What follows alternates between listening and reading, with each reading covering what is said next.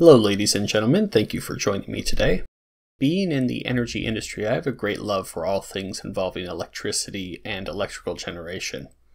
As such, I've become a bit of a connoisseur of consumer level renewable energy bullshit. So when I came across this video by Bloomberg, no less, I could not pass it up. We're on the side of the highway about 20 miles outside of Reykjavik. You can see this little guy spinning around all day powering telecommunications equipment. Back in downtown Reykjavik, there's smaller versions of this sitting on top of a bus stop.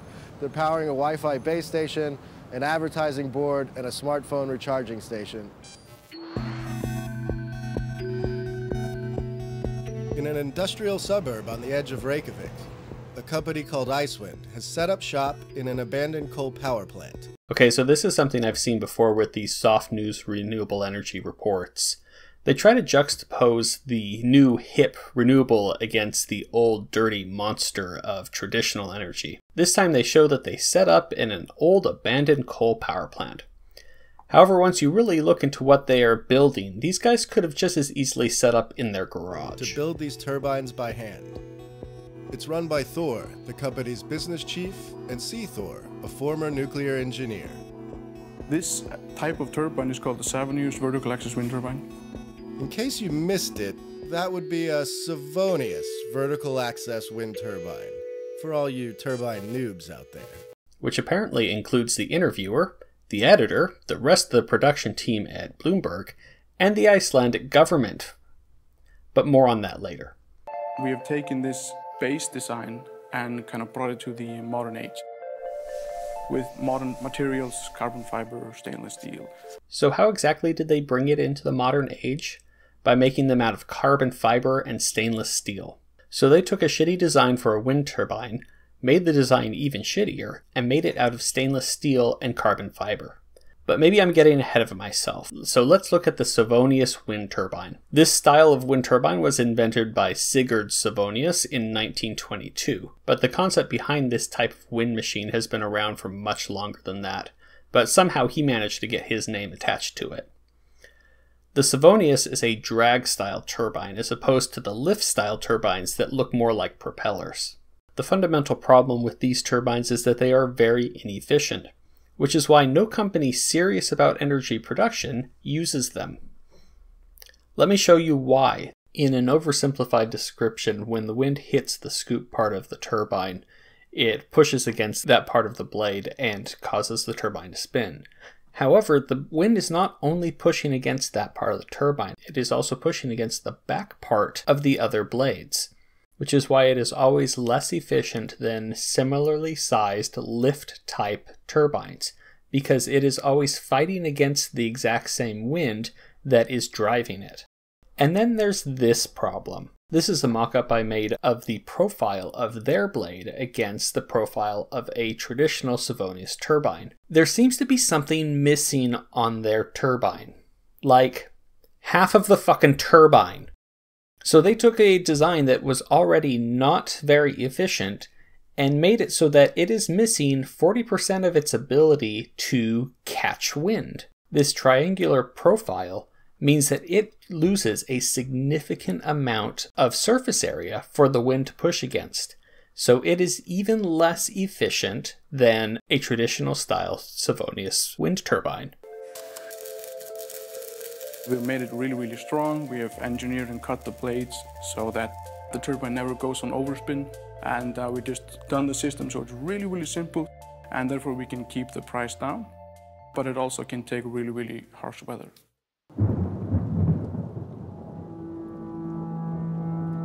Weather is a serious problem. This is what can happen to a conventional wind turbine when excessive wind speeds hit. Bullshit.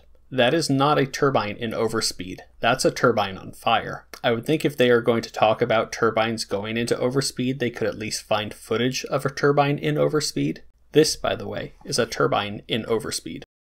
As you can see, the potential damage caused by a turbine overspeed can be quite catastrophic, which is why there are several mechanisms in place to make sure that the large utility scale turbines don't go into overspeed. A situation like the footage I just showed means that there were multiple systems failures that allowed that to happen. All wind turbines are in some way designed to prevent overspeed. The largest utility scale turbines have the ability to twist or pitch their blades so that the wind will pass over both sides of the blades, causing it to not spin, such in the footage that I'm showing. Even smaller turbines can yaw or twist the nacelle so that the blades are no longer being directly affected by the wind. Utility scale turbines are able to do this as well, but they primarily rely upon the pitching of the blades. In fact, the only turbine that doesn't seem to have any way to actually stop from spinning in the wind are these ones, because their blades are always being presented to the wind, no matter what direction the wind is blowing from. The shape of the Icewind turbines allows them to function in low wind and to stop from spinning out of control in high wind. This is a claim that they make on this video, and they seem to make a big deal of it. But it must be a claim that the company has actually backed off of, because when I go to their website, it says nothing about how these things are any better at dealing with overspeed than any other type of turbine. Icewind has trials running throughout this country and expects to begin selling its turbines worldwide later this year. So this Bloomberg video was produced in June of 2016. At the time of this recording, it is January of 2017, and according to Icewind's website, there is still no product available yet.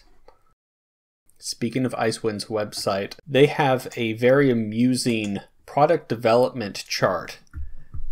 Believe it or not, they began designing this in 2008 and if you go from year to year, they have pictures of the different designs for each year that they have continued to change and, and develop this turbine. Very little has changed on it. And it has taken them seven years. And they have yet to be able to produce a viable product to bring to market. Mind you, this is a turbine that I was able to make a 3D model of in about an hour. And I am not an animator. I would guess if I needed to build something similar to this, I could do it in maybe a week tops and have a functional prototype. And here's what blows my mind. December of 2016, Icewind Team is proud to announce that they were just offered a two year government research grant. A grant to research technology that has been around for decades.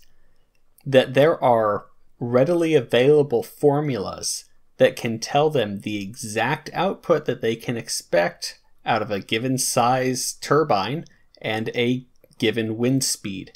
There is nothing for them to research, yet governments throw money at these green energy companies because they say we have something new and innovative. Nobody looks into it. Nobody researches it. Nobody says, hey, isn't this something that was already produced a long, long time ago?